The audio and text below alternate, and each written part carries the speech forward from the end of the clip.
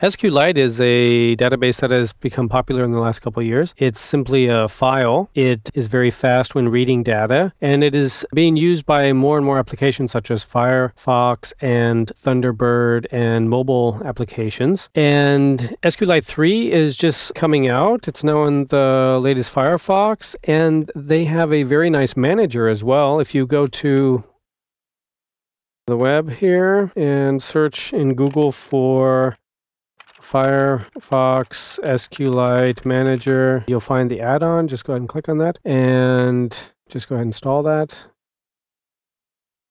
Just click install and restart to complete the installation. Restart, close the tabs, wait a couple seconds. Close the window and you have it. It's under Tools. It's called SQLite Manager. Here it is. Let's create a database. New database. We'll call it test. And where do we want to put it? We want to put it in C, uh, not in my documents, in my computer. C, see, we installed everything on XAMPP Lite. All of the web files are in htdocs. All of our webs are in webs. And our current directory directory is test. So test there, a file already exists. That's okay. You're opening an existing database. I just had a copy of it. You'll have you'll create it there. So in any case, when you go to your test here, you will see that there's a file now called test.sqlite, and that's the database.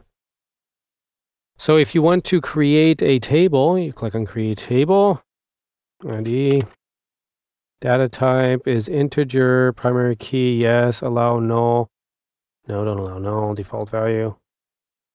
First name is varchar, okay, last name, varchar, score, integer, done, table name, members. Okay, so now we have a table name called members. If we want to add a row, click on Browse and Search, Add New Record. First name, Jim Smith, and the score is 56. Add New Record. Sally Brown, Score is 67. Add new record. Joe. Hacker. Score 23. So we have three records here in our database, which is in this file right here. We see it's getting bigger. So now what we want to do is in PHP, read the records out of this database. So just as with MySQL, we need a DB object, new, this time PDO. We're going to use the PDO extension here, SQLite, test SQLite.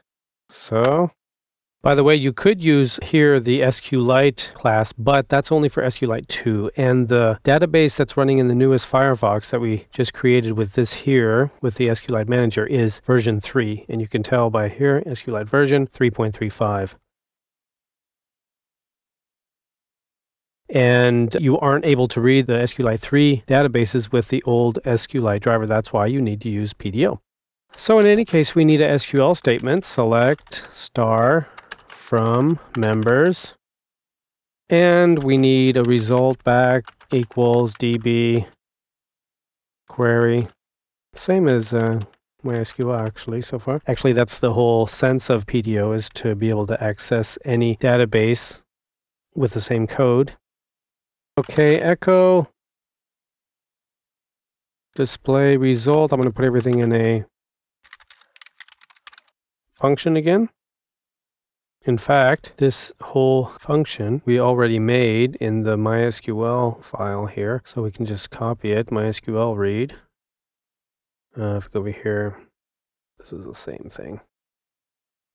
So close that and just insert it here. The only difference is in PDO, they changed this a little bit. You have to change it like this. So, okay, now that should work. We should get the data that we entered in our SQLite Manager here, Jim, Sally, and Joe, on our website. If we run this, this is called SQLite Read. We have here, this is our manager. We have to go here, SQLite Read.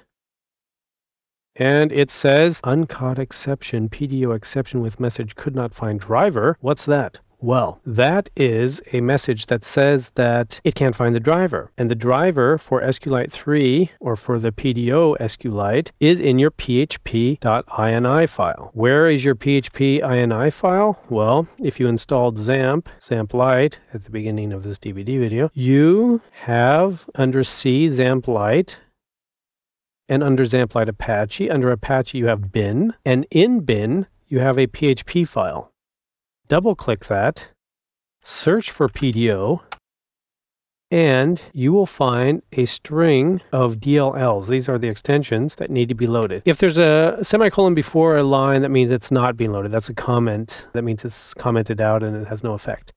So PDO is being loaded, that's fine. But we need to go down here and say the PDO SQLite DLL has to be loaded.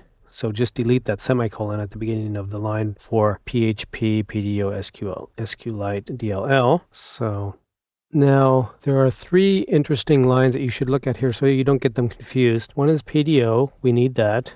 Another is PDO SQLite. We need that. Now another is SQLite DLL. We say we need that too. We're using SQLite. The thing is, this is for if you're using SQLite 2. This is for if you're using SQLite 3. So the ones that you should make sure are uncommented are PHP PDO DLL and PHP PDO SQLite DLL. Now, save with Control S, close. Then you need to restart Apache so those changes take effect. Click on XAMPP Lite, double click on XAMPP Restart. Watch it say a couple things here. It killed Apache. Okay, please wait. And do not close this window while XAMPP is running. Very good idea. Otherwise you won't have Apache. So now we're ready. Let's go back here. Reload and we have all of the names in our SQLite database. Let's just go ahead and change one. So very nice interface actually. We'll change Sally Brown to two points. Sally Brown two points. Go into our website, reload, and Sally Brown has two points. So we see that this page is indeed reading the SQLite database, which is a file in our directory here, right there.